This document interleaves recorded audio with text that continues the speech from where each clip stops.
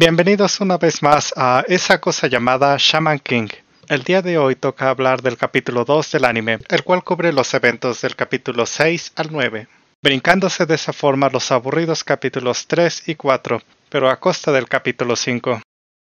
En este video y todos los videos futuros me referiré a Aren como Len, simplemente por preferencia personal.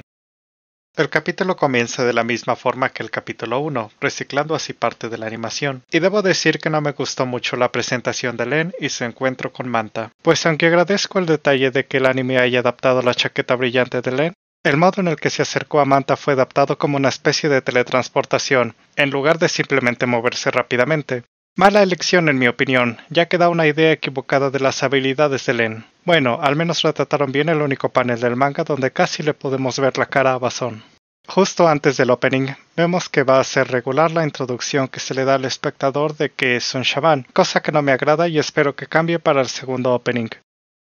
La escena en la escuela, donde Manta le cuenta a ellos sobre Len, va completamente de acuerdo al manga, aunque debido a los cambios hechos en esta adaptación, esta sería la primera vez donde vemos el lado holgazán de Yo, lo cual puede ser un poco chocante. Aunque la escena anterior ocurrió sin cambios, la escena siguiente debería de tener lugar en un McDonald's pirata, pero en cambio ocurre mientras yo y Manta caminan, cambio que me agradó bastante para hacer menos conveniente el encuentro con Len. Ahora, en la escena donde Len pelea con los delincuentes, me agradó que hicieran ese pequeño acercamiento al faro del auto para demostrar lo que hizo Len, cosa que en el manga es difícil de notar. Desgraciadamente no todos los cambios son buenos. La parte donde Len derrota a los delincuentes se vio muy floja, y me parece ridículo que el delincuente se haya puesto el cinturón de seguridad, pues no solo es estúpido en el momento, sino que también eso lo hubiera dejado atado al auto, en lugar de arrojarlo fuera de este. Continuando con la racha de malas decisiones en la adaptación, creo que el equipo a cargo de los bocetos no pudieron haber creado un basón más feo. También la lanza de Len se arma como por arte de magia. Digo, la posesión de objetos puede hacer esto posible, pero eso no ha sido establecido todavía. Y además, Len está usando la fusión de almas justo en ese momento. Tampoco me gustó el modo en el que adaptaron el Chuka Sanmai de Len. Sigue siendo impresionante,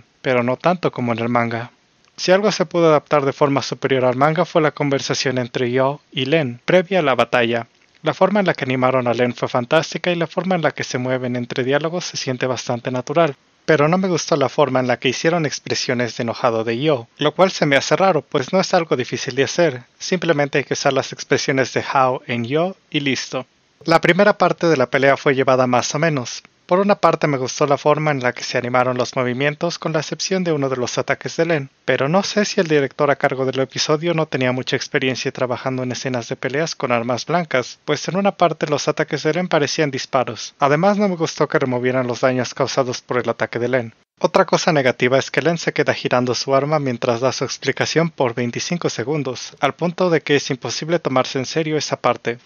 El ataque de Lena al 100% fue bien adaptado, pero siento que se pudo haber hecho un mejor trabajo, aunque se agradece que no censuraran la sangre de Yo. Debo decir que se me hizo extraño que el equipo de animación decidiera olvidarse de la sangre en el rostro y la ropa de Len de la misma forma en la que Takei lo hizo en el manga, al punto de que ya no sé si fue por fidelidad a la obra o por flojera. La segunda conversación entre yo y Len fue llevada magníficamente, y al momento de comenzar el segundo encuentro se mejoró la forma en la que yo adquiere su segundo tubo, aunque no me gustó nada cómo fue adaptado la postura de el Buda. Lo que sí me gustó fue que en esta adaptación se da a entender que el combate fue un empate, ya que nos muestran cómo yo se desmaya justo después de atacar.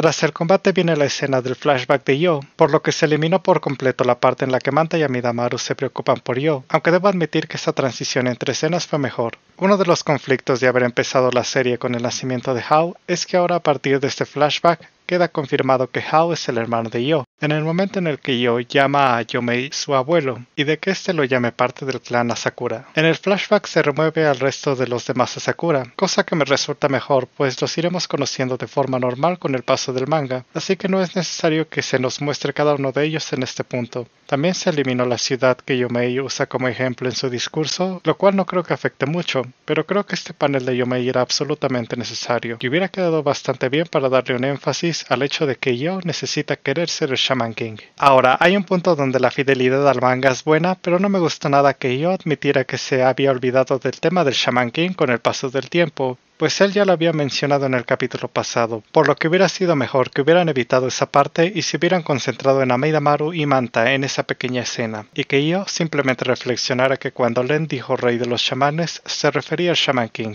La introducción de Ana pasó justo como en el manga, sin ninguna clase de mejora como la plática entre yo y Len, pero creo que aquí no había mucho que hacer, eso sí, la nueva imagen de Ana luce mucho mejor y no puedo esperar a ver el capítulo 4, porque el capítulo 3 es acerca de June y Bruce y no podremos ver mucho de Ana todavía. La actuación de voz de Len me pareció un poco rara la primera vez que vi el capítulo, pero ahora que lo vi de nuevo para poder hacer este video, debo decir que la razón por la que se me hizo rara fue porque la actuación de su actora de voz es tan buena que se siente un poco fuera de lugar, comparada con la de la actora de voz de Yo, la cual no hace un mal trabajo, pero simplemente no es justo comparar a alguien con la legendaria Paku Romi. Bueno, quizás Megumi como la voz de Ana se le puedan comparar, pero tendremos que esperar para eso. Este capítulo tuvo sus altas y sus bajas, pero eso es común en los primeros capítulos de una serie de anime, y espero que la calidad mejore pronto. Eso fue todo por hoy y hasta el próximo video.